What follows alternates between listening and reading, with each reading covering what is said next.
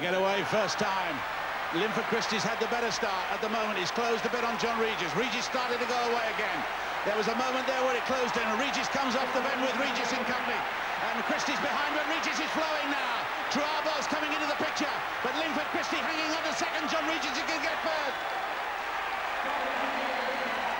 20.12, a new championship best performance for John Regis and a lifetime best. Trouabal of France takes the bronze, but the big showdown, there it was.